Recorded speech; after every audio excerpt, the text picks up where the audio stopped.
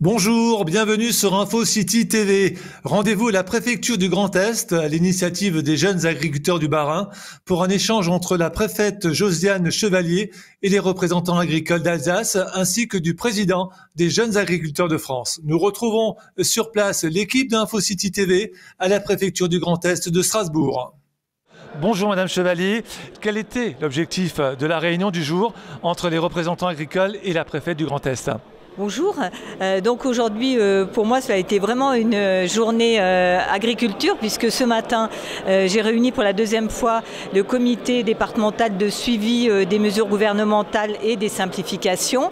Donc l'occasion d'un dialogue approfondi sur les mesures de simplification locales et également sur la pédagogie d'un certain nombre de mesures gouvernementales pour pouvoir ensuite faire aussi remonter au gouvernement les difficultés d'application qui peuvent se poser. Et puis cet après-midi, j'avais souhaité accueillir à la préfecture l'Assemblée générale des jeunes agriculteurs. Alors cette invitation, elle datait de plusieurs mois, donc c'était avant la crise agricole. Donc aujourd'hui, euh, cette réunion ici a eu un relief particulier euh, puisque c'était la première fois euh, que la préfecture accueillait une Assemblée générale de jeunes agriculteurs en présence du président national des jeunes agriculteurs, un autre beau symbole.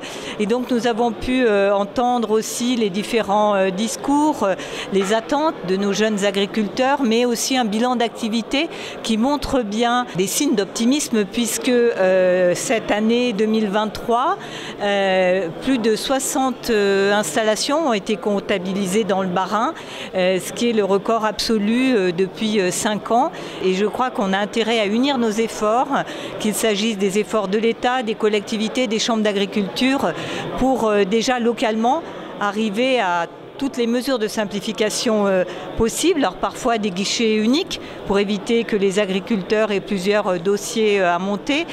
On va peut-être résumer les quelques sujets. Dans quel domaine l'État peut-il agir? Vous en avez évoqué un certain nombre. La simplification administrative, les normes sur l'environnement et la sécurité, les règles de succession ou encore les achats dans les cantines scolaires.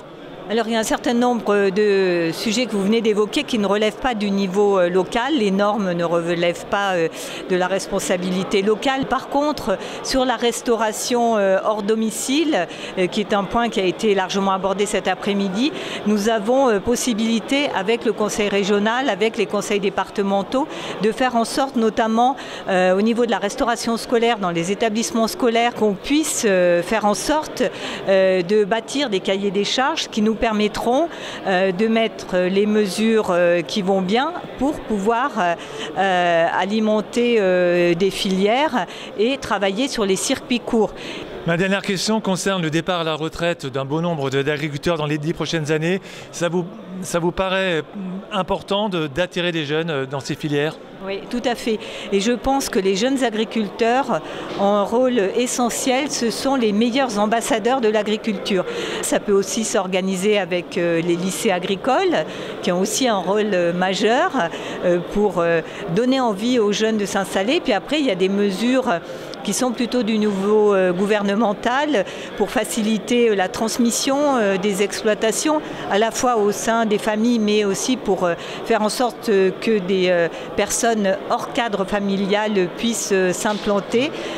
Donc je crois que là aussi c'est un travail collectif et les médias ont aussi un rôle à jouer dans la présentation qu'ils peuvent faire du métier d'agriculteur qui a beaucoup évolué.